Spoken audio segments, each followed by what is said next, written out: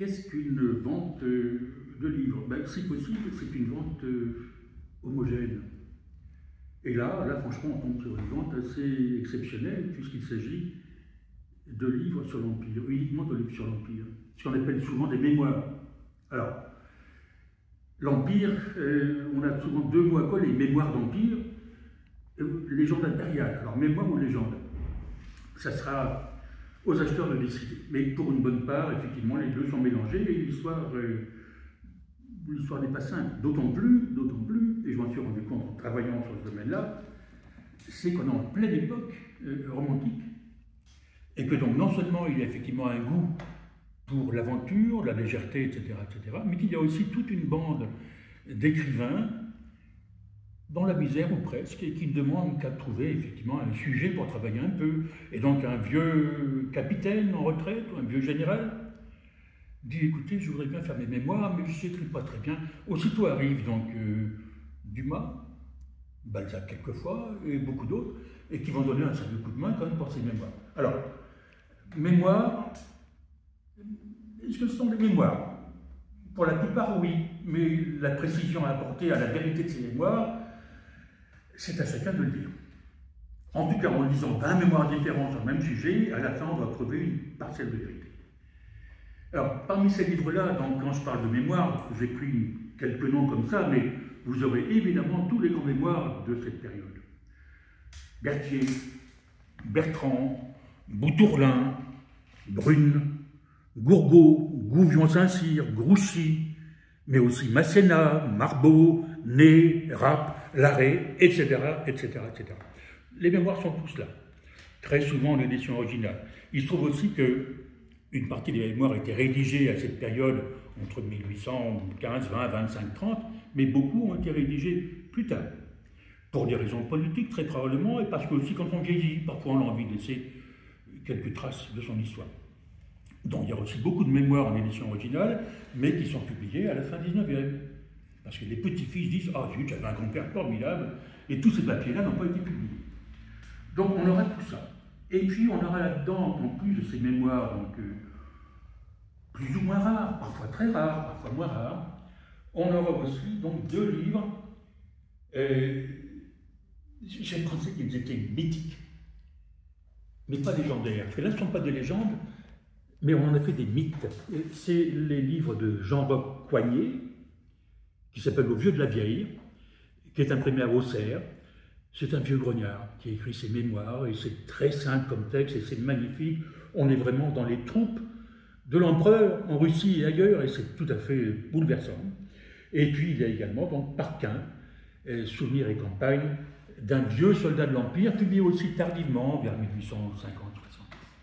Voilà, ces ouvrages-là sont parmi ceux que je préfère. C'est à la fois les moins historiques et les plus peut-être véridique de tous ces mémoires. On a aussi d'autres choses. Avant de parler de, cette chose qui se trouve là, un manuscrit euh, épatant, vraiment épatant, épatant, épatant, sur la guerre d'Espagne, je voudrais dire un mot aussi donc des mémoires de femmes de cette période-là. En particulier euh, d'une femme que j'adore et que j'avais rencontrée, si je peux me permettre, il y a maintenant bien des années, il y a 15 ou 20 ans. Je faisais à l'époque chaque mois un catalogue de grec, uniquement de grec. Et je décris un jour donc la première impression de Smyrne. Quel rapport vous direz-vous? C'était 1834, sauf erreur. Et à Smyrne, donc, la première presse typographique de Smyrne est dirigée par un Français, et le premier texte imprimé à Smyrne est en français. Et c'est une espèce d'historique de ce qui se passe à Smyrne. Et il écrit un jour, on nous annonce, l'arrivée de la grande Ida Saint-Elme qui nous arrive d'Égypte. Alors, je ne connaissais pas du tout cette femme, Ida Saint-Elme. À l'époque, je n'ai pas si curieux pour chercher des choses sur elle, mais le nom m'avait plu. Et là, dans cette collection d'histoire, faite par un seul et même collectionneur, il y a deux ouvrages, l'un en six ou huit volumes, l'autre en trois, deux ou trois volumes, d'Ida Saint-Elme, qui s'appelle Mémoire d'une contemporaine pour le premier, et une contemporaine en Égypte pour le second. Alors, je vous dis deux mots sur Ida Saint-Elme, et après je vous dirai pourquoi c'est le second qui m'intéresse dans mon histoire de Smyrne. Ida Saint-Elme est une jeune femme hollandaise, fille d'un pasteur, qui a 18 ans en 1796. Jeune femme très belle et très amoureuse. Tombe amoureuse d'un des généraux français qui s'occupe de la Hollande à ce moment-là. Et puis elle décide de quitter son père pasteur donc, et de le suivre sur les campagnes qu'il va faire. Or, il fait toutes les campagnes de l'Empire pratiquement. Donc elle se retrouve en Russie et plus tard en Italie avec un autre général. Elle est amoureuse des généraux en général, puis je puis dire. Ça lui vaudra deux surnoms. Elle a tellement d'officiers comme amants euh, qu'on lui droit, donc méchamment, vraiment méchamment, le surnom de veuve de la Grande Armée, ce qui n'est pas très gentil quand même. Et l'autre surnom, qui est plus vrai, c'est le Casanova femelle. En tout cas, donc, Ida Saint-Elme va non seulement euh, avoir cette histoire amoureuse dans toute l'Europe avec tous ses généraux, français en général, mais aussi un italien ou deux, et elle va rencontrer aussi donc, euh, la sœur de Bonaparte, et puis s'en faire une amie, peut-être plus qu'une amie, on ne sait pas trop. Et puis, et puis bon, c'est la gloire pour elle. Et 1815, malheureusement, tout s'arrête. D'une part, elle a vieilli, elle a plus l'éclat de ses 18 ans, ça reste une belle femme, hein. Et donc, mais elle n'a plus d'appui à la cour. N'en veut plus. Et donc, elle décide de faire du théâtre. Et donc là, et je parle ça dans les mémoires d'une contemporaine en Égypte, on a donc effectivement quelques exemples de cette tournée. Elle fait des tournées dans le théâtre de seconde zone, au Proche-Orient en particulier, en Égypte. Et donc là, ce bateau donc, qui vient d'Égypte en 1831-32, et qui va s'arrêter à Smyrne, eh bien, je peux dire à ce, personnage qui écrivait ça à l'époque que oui, elle était à bord, elle était à bord, et elle a pu descendre jouer une pièce de théâtre à Smyrne. Alors, il faut s'imaginer un peu ce qu'était Smyrne à ce moment-là, ce qu'était l'Égypte à ce moment-là. C'est la révolution grecque, une chose qui doit toujours passionner, mais là, c'est en plein, tout bouge, tout explose, tout éclate. Eh bien, Ida est dans cette euh, furie guerrière et ben, elle fait du théâtre. Ça ne marche pas trop. Et donc on la retrouve ensuite à Bruxelles en 1840-45, et elle meurt dans la plus grande pauvreté, dans un hospice abandonné de tous et de toutes. Alors ce genre de femme-là, on lit son texte. Alors est-ce que c'est elle qui l'a écrit? Alors bien sûr, on dit non, c'est pas elle, femme. Mais pas plus que les autres. Hein. En partie oui, probablement, en partie non, probablement. Mais quand elle parle d'Égypte, par exemple, c'est elle qui indique quand même à ces gens qui ne sont pas allés en Égypte, ce qu'il faut dire sur l'Égypte. Or, elle parle des momies, elle parle des monuments, beaucoup mieux que bien des généraux ou voyageurs français de l'époque. C'est une femme que j'aime beaucoup. Voilà pour Ida Saintel, mais voilà pour les mémoires en général. Si je peux dire un mot maintenant donc d'une des pièces euh, importantes de, cette vente, il s'agit donc d'un manuscrit qui semble très modeste comme ça, dans une reliure, qui est une reliure cartonnage vers 1820-25 accompagné de différentes feuilles, feuillées. J'ai travaillé sur chacun d'entre eux.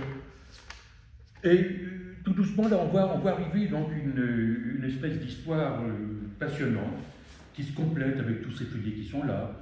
On a sur un des feuillets, par exemple, le prix du foin pour les chevaux, etc., etc. On a le prix donc de, des poids pour les soldats, etc., etc. Et là, il s'agit effectivement d'un je vais vous montrer les poids. Attendez que je retrouve ça. Le tarif des poids. Ici. Voilà, vous voyez, c'est pas grand-chose, une petite feuille de carnet. Vous avez tous les tarifs nécessaires à une armée en campagne. Alors, ce texte-là, donc, euh, raconte la campagne d'Espagne du tout début. Donc, euh, ça commence à l'extrême fin 1807 euh, et on rentre en Espagne au tout début 1808. Et là, on va suivre au jour le jour donc, euh, ce régiment, le 116e régiment d'infanterie. Quand je dis au jour le jour, c'est au jour le jour. On sait chaque jour ce qui se passe, le moindre petit événement est décrit là-dedans. Euh, quand le régiment reçoit donc, des vêtements, parce qu'ils sont arrivés euh, de différents régiments, donc ils n'ont pas tous le même uniforme. quand ils ont décidé de leur fournir un uniforme, eh malheureusement, c'est fait donc à Saint-Jean-de-Luz, mais sans les mesures de ces soldats. Et donc, c'est tellement épouvantable à porter, ils marchent sur les, manches de leurs culottes, etc., etc., que tous ces soldats, d'un commun accord, mettent à la poubelle quelques jours plus tard leurs vêtements. Alors on a ça, et il y a aussi des choses extrêmement tragiques euh, sur le quotidien de ces soldats. Toutes les batailles sont racontées, et des événements comme le 2 de mai, par exemple. Alors le 2 de mai, vous devez connaître sans doute donc ce tableau de Goya, Los Dos de Mayo. Eh bien, vous prenez en main l'image du 2 de mai de Goya et vous lisez ce qui est marqué ici dans ce manuscrit anonyme, et vous avez effectivement ce qui s'est passé le 2 de mai, représenté chez Goya. Vous l'avez ici écrit par quelqu'un qui a participé. Je trouve ça extraordinaire. D'autre part, un point très intéressant et vraiment très rare. Euh, ce, cet écrivain, ce officier, subalterne, euh, qui écrit ça, donc, euh, demande à un de ses anciens militaires qui l'ont accompagné pendant assez longtemps dans la guerre d'Espagne, il lui envoie le manuscrit, il lui dit, bon, si tu as des choses à corriger, vas-y. Et le, correspondant qui annonce qu'il était tambour dans une division qui a été pendant très longtemps euh, accompagnant celle-ci, mais qui se sont séparés donc après 1811, je crois, 1812. Bien. Il commente donc des parties de la, la première partie du manuscrit. Par exemple, il faut que je retrouve mes notes, et surtout des notes. Voilà. Là, c'est le Pardon, c'est un, peu, un peu compliqué